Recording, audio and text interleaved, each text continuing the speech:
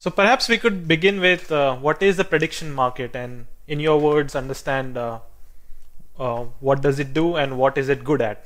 The reason you create the market is because you want to know the answer to something. So uh, you could create a market in a company. Say you might have a, a, deadline of a project. Will we make the deadline? You might have a let people bet on whether you'll make the deadline, and uh, the net effect of people betting will give you some consensus estimate of the chance you make the deadline, say 60%. And that could be, and often is, a, much better estimate of the chance of making the deadline than you would get by asking the manager of the project or doing a survey or many other mechanisms for finding out the chance that it'll happen. So a prediction market is a betting market on something you care about so that you bother to make the market in order to find the answer to your question. So, what the wolves go. So if there are a place where lots of sheep go, it turns out the wolves go there too. And because the wolves go where the sheep are, the market with more sheep are actually more accurate. So you don't have to just ask, well, in, you know, there's some parameter out there that says how many wolves and how many sheep there are in each market. And, and geez, you shouldn't trust the fact that there might be more than one in the others, so you should just like give up on the whole thing. Pe- the wolves respond. People who are informed traders look around for which markets are the places to make the most money. And the more places where there are fools trading, is where they can make more money, more money, and they do go there. And that means that those markets get more people eagerly trying to figure out what the price should be, eagerly making larger trades, and makes those markets more accurate. So that's just a general feature of financial markets uh, across company, diff, you know, larger companies are, have more accurate prices. Uh, betting markets with more people in them have more accurate prices. That's just a general feature. Now, the thing to fig- realize is these manipulators these people who want to go in and push the price in some direction, not because that's what they think the value of the asset is, but just because if people thought that, then they would get some advantage, they are sheep. Because this is the definition.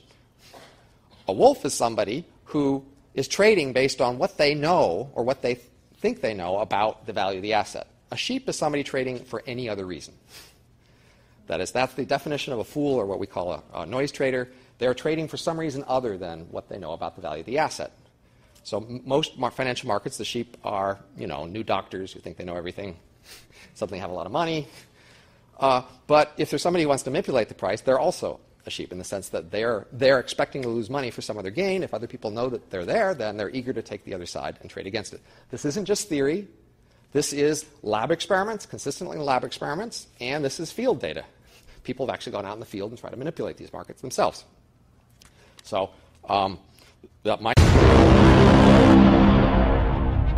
Think for a moment about futarchy versus alternatives. And let me suggest an alternative which is a closer model than futarchy of real political systems, both democratic and non democratic. And that's a straight bidding war. That's the system where people who want a tariff offer congressmen a certain amount of money to pass a tariff. People who don't want a tariff offer a certain amount of money not to pass a tariff, and whichever number is larger determines what happens. It's not a perfect model of how our system works, but it's not too bad. What futarchy does is to weight that system towards the truth. Futarchy says if the people who want the tariff are willing to spend more money than people who, who don't want the tariff, that will only get a tariff if the difference is enough to outweigh all the disinterested bettors who just want to make money. So therefore, futarchy, as opposed to that alternative, pushes you towards more correct decisions, not fewer correct Thank you.